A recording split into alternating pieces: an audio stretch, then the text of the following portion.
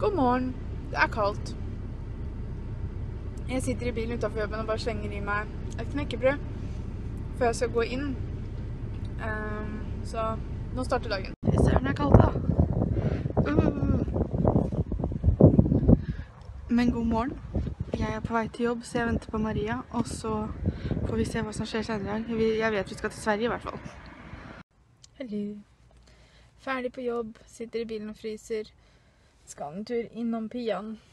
På jobben hennes, faktisk. Um, før jeg dro fra jobben, så kjøpte jeg noe Eller det siste jeg trengte til middagen i morgen. Jeg skal lage lasagne. Og da lager jeg lasagne fra bånna, unntatt den hvite sausen. Den kjøper jeg. og så har jeg kjøpt bagetter og hvitløkssmør, for jeg har lyst til å lage mine egne hvitløksbagetter. Å, epler glemte jeg. Jeg skal bake eplekake. Ja, nei, men det får jeg kjøpe. Vi skal jo til Sverige sammen med Mari og Maria i kveld. Um, Mari trengte en tur til Sverige, og da tenkte vi at vi skulle bli med. Uh, jeg er trøtt, jeg. Trøtt, og så gleder jeg meg nå sykt til morgendagen. Og hva er det som skjer oppe her, da? Her står det rett opp her. Sorry. Uh, hva sa jeg? Jo, jeg gleder meg veldig til i morgen når kjæresten kommer hjem. Ti dager. Hjelp! Eller ni har vi funnet ut at det var, for jeg så han jo dagen, dagen han dro, og ser han dagen han kom hjem. Så strengt tatt så er det ni, men ni dager. Oi, oi, oi. Så nå skal det bli veldig godt å få han hjem, altså. Så ja, nå skal jeg gå inn og ta en besøke Pia litt, tenkte jeg.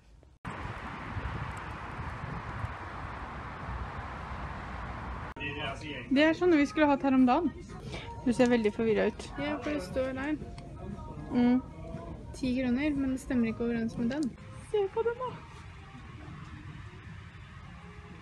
Ja, den var jo kanskje ikke så sjarmerende. Bare sånn, eh, hvor skal man ha den? Feste med sånn tråd til verandaen, så ikke han flyr av gårde. Men jeg likte den. Eller julenissen. Hm? Hvor? Pingvin! Jeg skjønte ikke dragen, da. Nei, dinosaurus, mener jeg. Han har jo Han har nisselue. Selvfølgelig, da er han jo kjempejord. Eller snømann, da. Eller den. Best friends. Best friends. Det Naturen sier at det går. Og de har ugle. Ja. Sånn med tanke på at den ene er døde død. for Men Det er en sånn detalj som man ikke trenger å henge seg opp i. Og så bare et par alternativer til julestjerner, da. Oi, den var litt kul. Nei, Å nei. du syns ikke det? Nei, det er det det sier. Det var egentlig, egentlig ikke kul i det hele tatt. Du, du må få synes hva du vil. Jeg skulle bare akkurat si Den var litt over the top. Men eh, Men er ikke sånn? ja. En ting er liksom Men det er forskjellig farge. Altså, ja. Ja, altså han hadde vært finere hvis det bare hadde vært gult lys. Har du sett de som bor på andre siden av veien hos meg? Eh, en av leilighetene der, der, driver, de- der har de Altså det her ganger 1000. Å ja, sånn utapå og sånn. Ja. Sånn julelys. Når jeg står på kjøkkenet, så bare.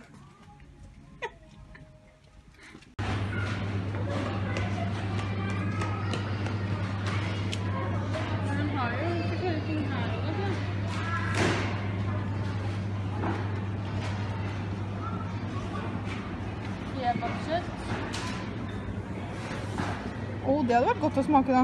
Grilla fileter. Jeg vet ikke hva det er grilla fileter av, men Ikke kjøtt, da. For sånn som de der syns jeg ikke ser gode ut. Soya bacon? De der.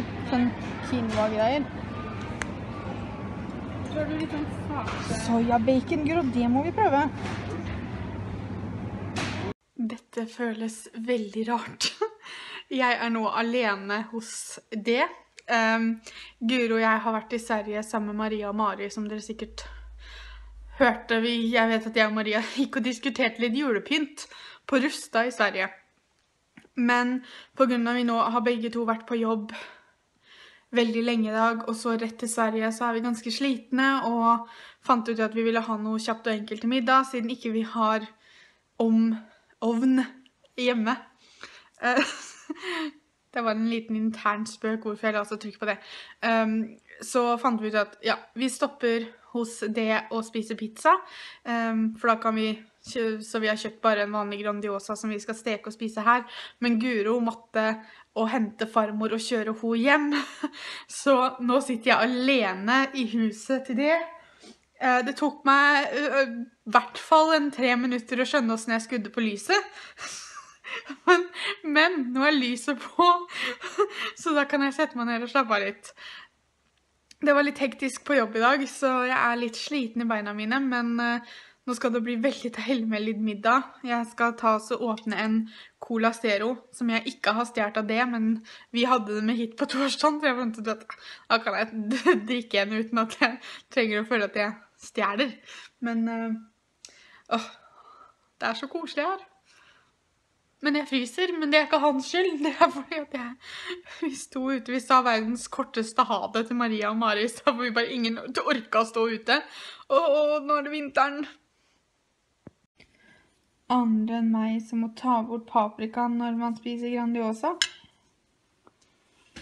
Og en liten fun fact, for det her er jo mulig, man kan jo ta bort paprikaen eh, før man steker den, eksempel. Men jeg vil gjerne ha smaken av paprikaen. Jeg vil ikke ha paprikaen. Jeg liker ikke stekt paprika i det hele tatt, men jeg syns det er veldig godt å ha liksom, den lille smaken han gir pizzaen, da. Så ja da. Er det andre enn meg som er litt sære der? Så logisk ut. Er det andre enn Guro som bruker ketsjup på Grandiosaen? Det er så godt. Ja, men det må være Idun-ketsjup. Men herregud. Det er jo svensk Idun. Filma deg liksom fra halsen og ned. da er det straks natta. Jeg er skikkelig, skikkelig trøtt nå. Vært oppe siden klokka seks, så det er ikke noe rart i. Uh, uh, Unnskyld. Jeg har nettopp sittet og redigert en uh, videoen som skal opp på mandag. Pia holder på å redigere da morgendagens video. Eh, så så jeg det at vi hadde fått et spørsmål på vloggen fra i går angående hva escape room er. Og escape room, eller Team Escape, da, som vi skal på i Oslo, er det at du og fire-fem venner, da det, Jeg tror de anbefaler ikke å være mer enn fem. Er at dere blir låst inne på et rom. Og i det rommet så er det masse gåter og greier som du skal løse for å finne da veien ut, holdt jeg på å si. Du får én time på deg. That's it. Um, du kan i hvert fall Noen steder så vet jeg at det er sånn at du kan ringe ut og få hint og sånn hvis du står fast. Um, men det er i hvert fall da masse forskjellige gåter og oppgaver og sånn du skal løse rundt i det rommet. Og så klarer du alle sammen innen en time, så kommer du deg ut av rommet. Og klarer du dem ikke, så kommer du deg fortsatt ut av rommet. Um, men da har du bare ikke klart det. Det, men altså, det, er, det er ikke det som spiller noen rolle. Altså, og det høres ikke kjempeteit ut, men det viktigste er å ha det gøy, folkens. Være med på det. Prøve så godt man kan. Klarer man ikke alle oppgavene og kommer man seg ikke ut av rommet før tida har gått, så ja, ja. Da, men ha det gøy. Det er det som er hele poenget med det.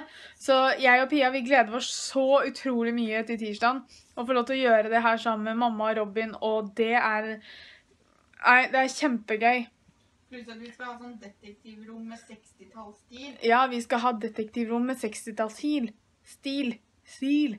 Um, så det blir veldig gøy, altså. Det, åh, jeg gleder meg skikkelig. Så, men eh, nå skal jeg redigere vloggen, og så skal jeg gå og legge meg før jeg sovner.